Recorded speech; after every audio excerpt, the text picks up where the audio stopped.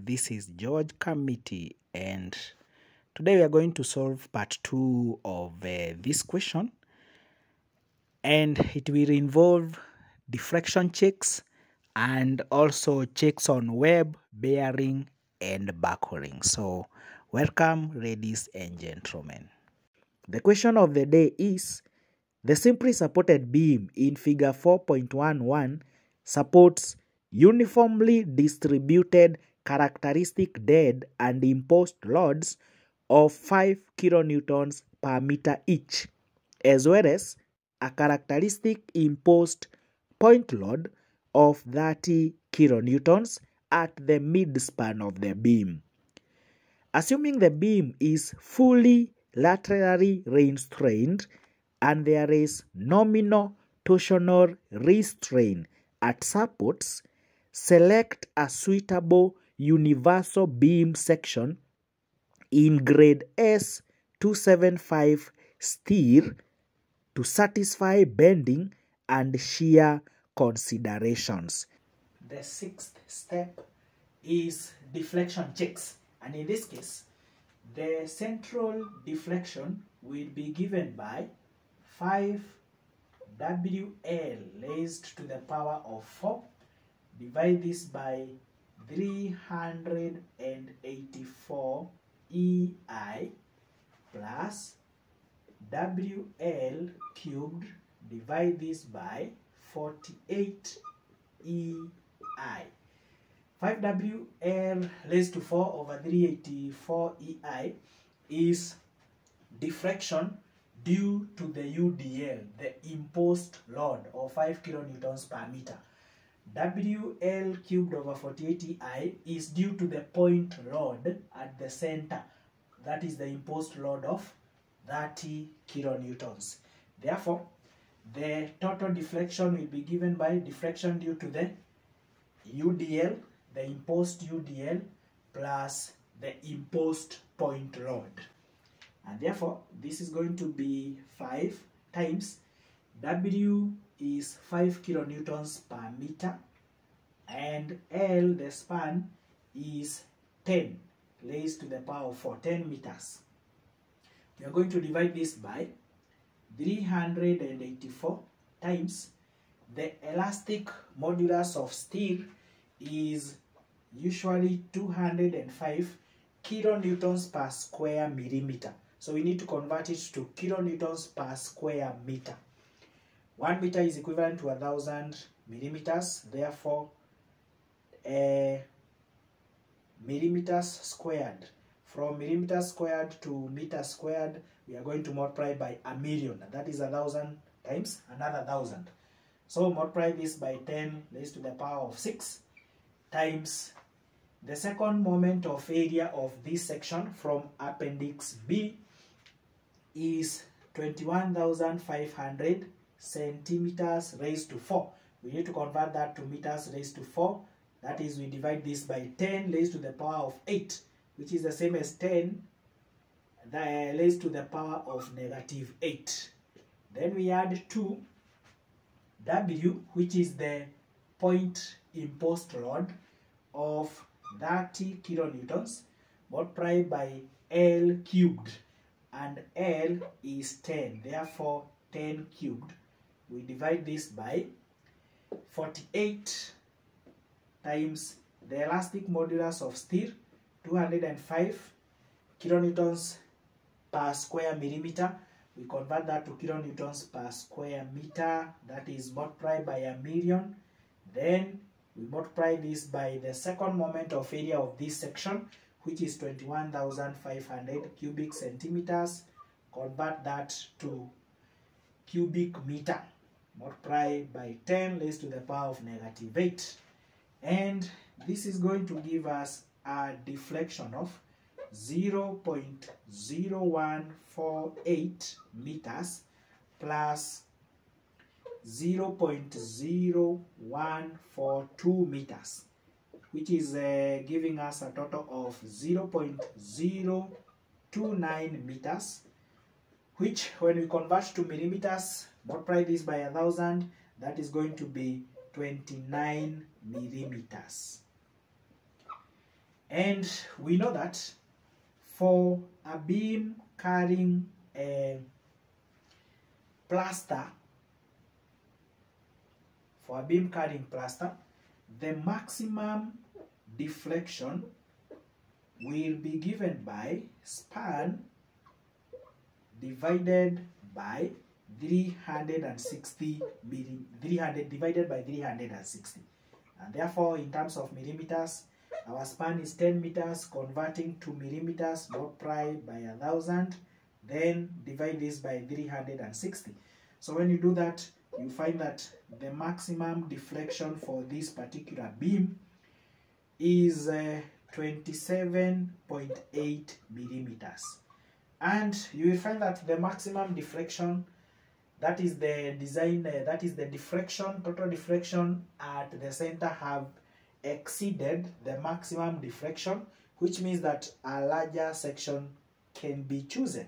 But in this case this is not uh, too much of deflection because it's only 2.8 millimeters which is not too large to result to any uh, damage on this particular section. So in terms of deflection, that is the far we can go. So we are done with the sixth step, that is deflection check. The seventh step, step number seven, happens to be checks on web bearing and buckling. So we go to checks on web buckling and bearing.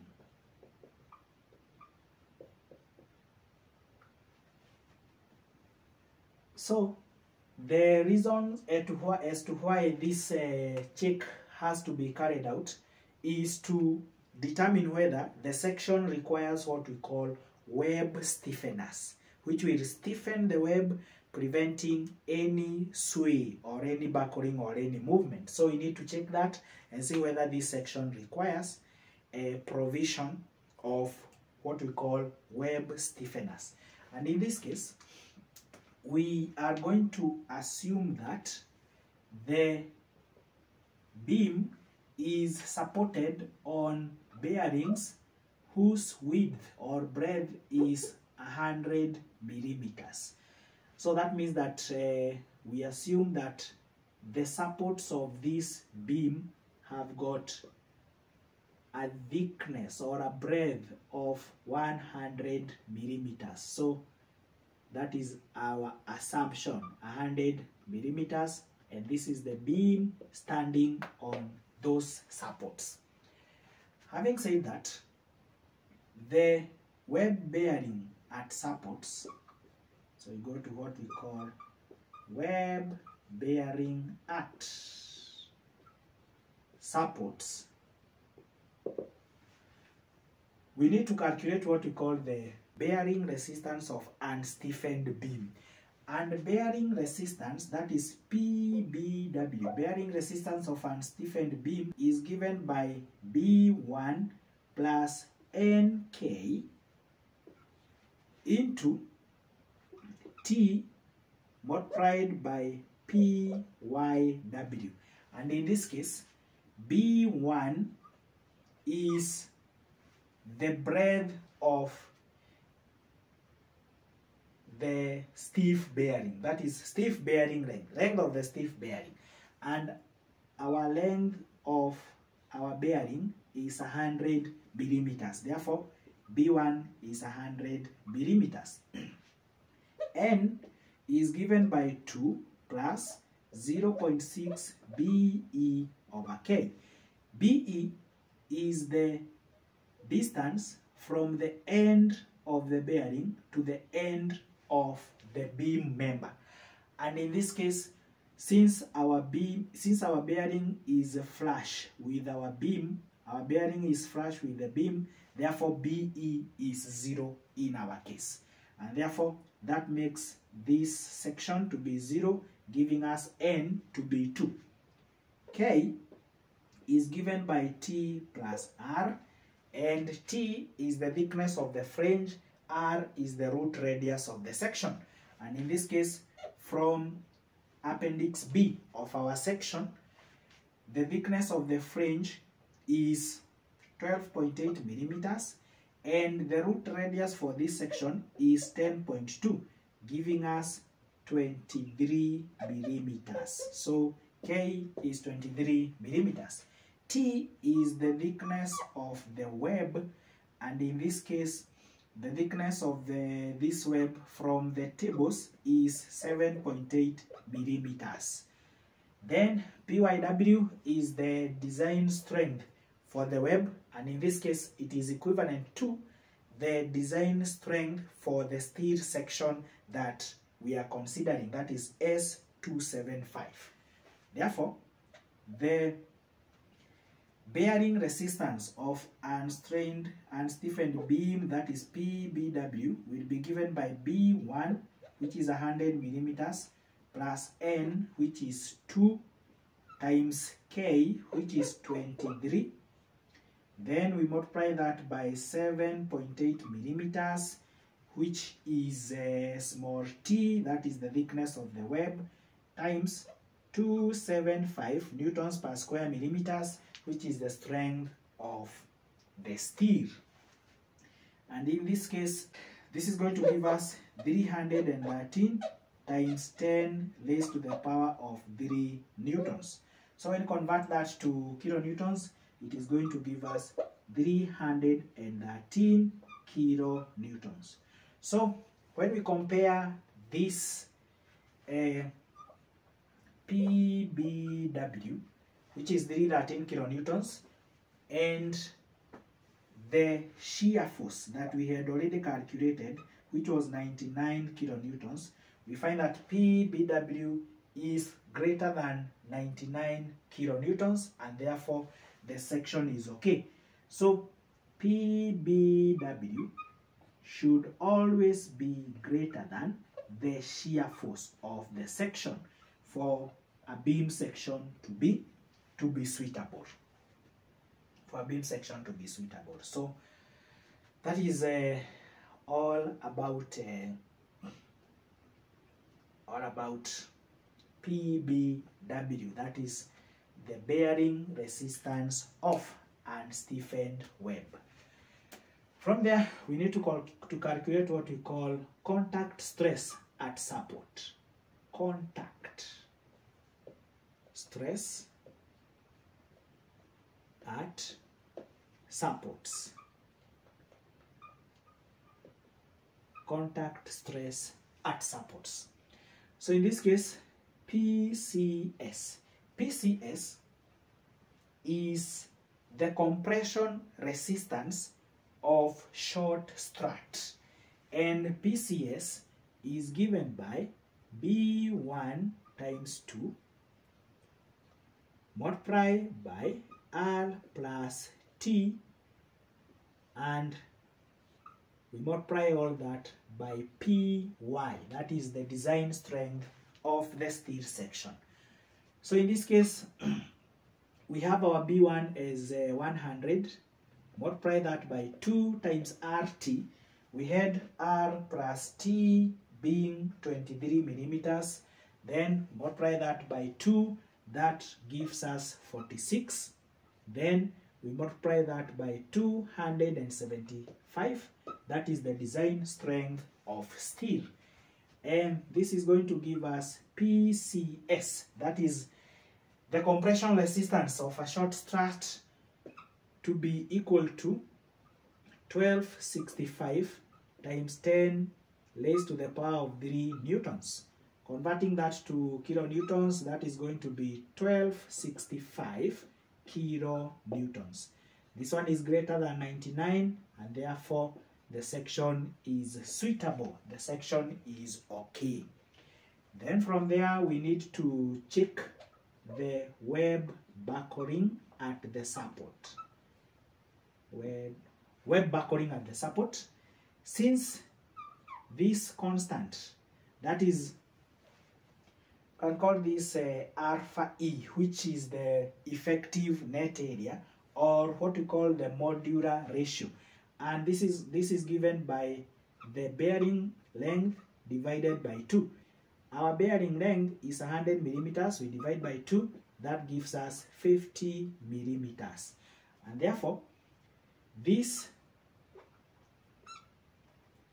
uh, modular ratio should be less than 0.7 d and small d is the depth between fillets so from the tables the depth between fillets of our section is 360.5 millimeters. Therefore when you multiply 0.7 times 360.5 that is going to give us uh, a 252 millimeters. So you find that 50 millimeters is less than 252 millimeters. And therefore the web buckling web buckling will be given by px and in this case px is buckling resistance of an unstiffened web.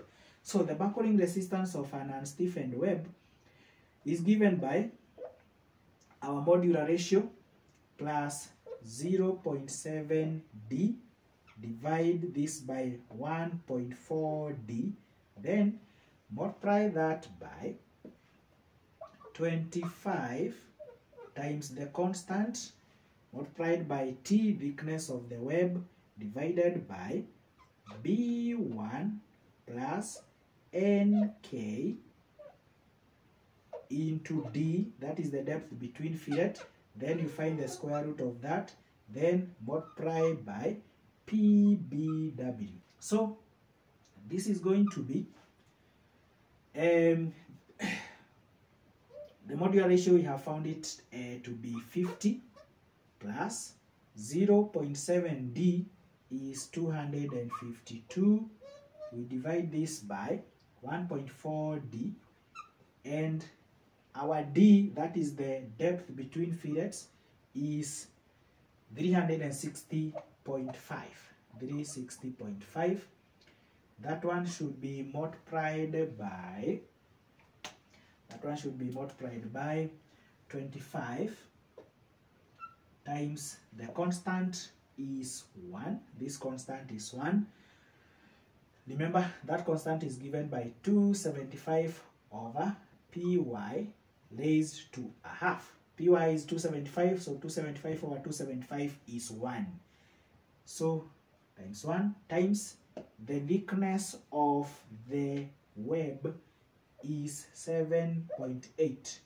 then we divide this by b1 is 100 millimeters uh, plus nk that is 2 times 23 that is 46 then you multiply by depth between fillets which is 360.5 so 360.5 then we find the square root of that. So we multiply by pbw we had already calculated pbw which is 313 kilonewtons. So multiply the whole of that by 313 so px is uh, going to give us um, 159 kilonewtons. This one is greater than 99 kilonewtons and therefore the section is okay. So this means that no web stiffeners are required at the supports. So ladies and gentlemen, that's how we go about uh, design of this section. Thank you very much for watching our video. Please don't forget to hit that subscription button as well as the notification bell. See you in yet another lesson.